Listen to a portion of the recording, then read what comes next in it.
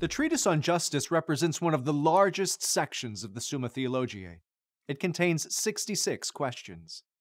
By comparison, the treatise on faith contains 16 questions, the treatise on hope, 6 questions, and the treatise on charity, 24 questions. Three times the length of the treatise on charity, the treatise on justice also remains one of the most read sections of the Summa. Because it contains Aquinas' teachings on political and legal matters, the treatise on justice attracts attention from moral and political philosophers as well as from social and legal theorists.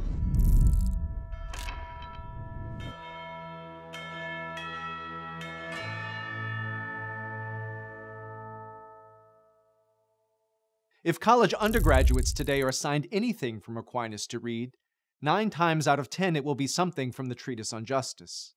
In order to do justice to the treatise here, Aquinas 101 will devote two videos to exploring it.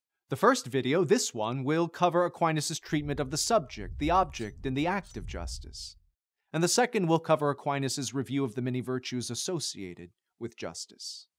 Before we begin, it is important to note that the casual reader of Aquinas' doctrine of justice will miss its most important details and insights unless he or she shares, or at least is familiar with, Aquinas' anthropology, or his doctrine of the human person. For Aquinas, the human person is by nature a social and political animal. This means that the human person always and everywhere finds himself as a part of some society.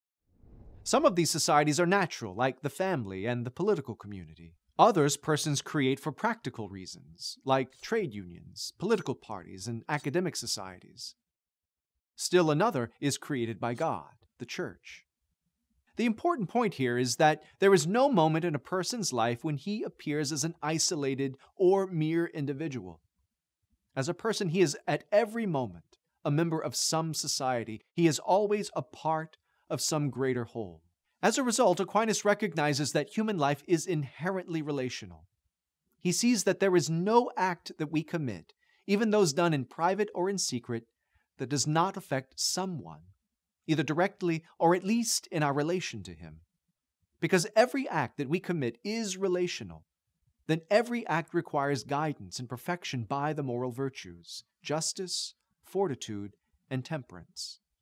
Aquinas explains that fortitude and temperance guide and perfect one's actions in relation to oneself, while justice guides and perfects one's actions in relation to others, particularly to strangers.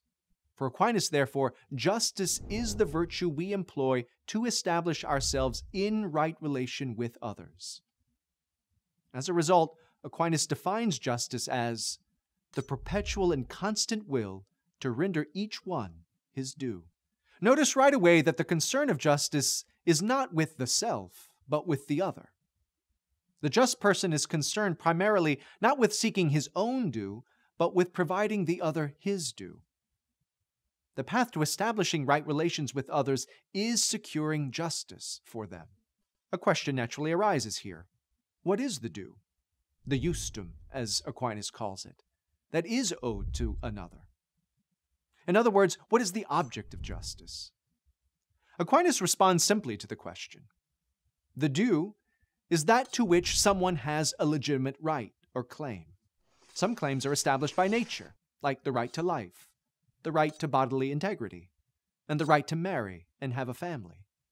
Other claims are established by law, like the right to vote, the right to a jury trial, and the right to access public goods. The complex network of natural and positive rights that exists leads to there being a variety of expressions, or species, as Aquinas calls them, of justice. First, there is general or legal justice, which is an individual's rendering what is owed to the political community.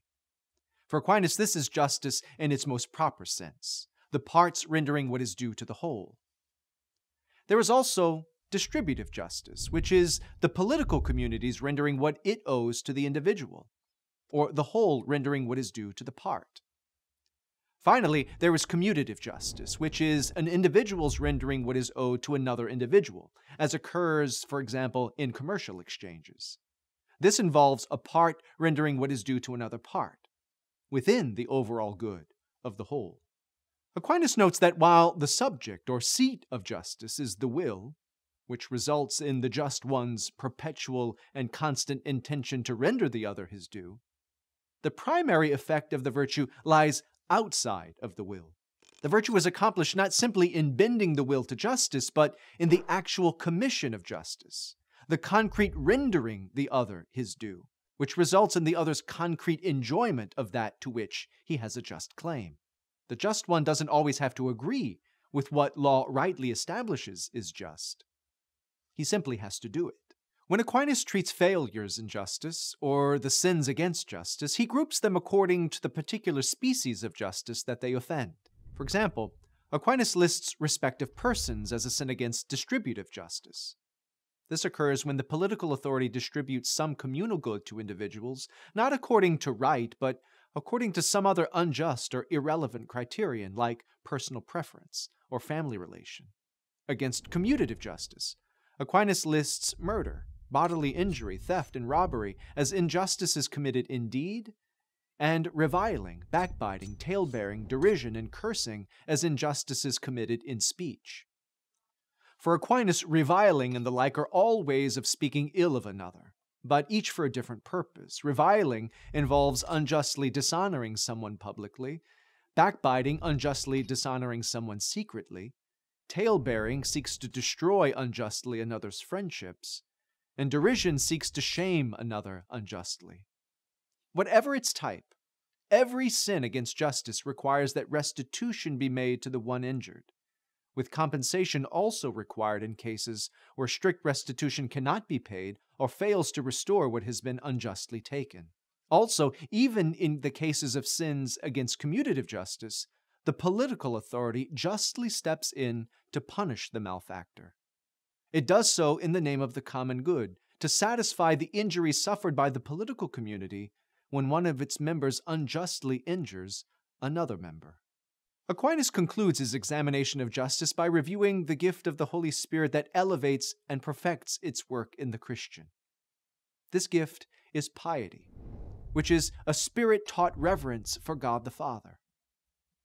This reverence inclines the Christian to offer easily and joyfully the worship and obedience due to the Father. Aquinas observes that this piety perfects the whole of justice. For the one ordered justly toward God in piety then orients himself to lesser authorities, and all others, in fact, in view of their relation to God. Aquinas concludes by observing that justice perfected by piety manifests itself in the meekness spoken of by Christ in the Beatitudes.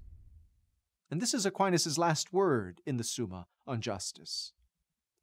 The Spirit renders a man meek by removing from him all possible obstacles to justice and piety. The meek one remains ever ready to act in the pursuit of justice. Meekness is the mark of a man who has been justified by God. For readings, podcasts, and more videos like this, go to Aquinas101.com. While you're there, be sure to sign up for one of our free video courses on Aquinas. And don't forget to like and share with your friends, because it matters what you think.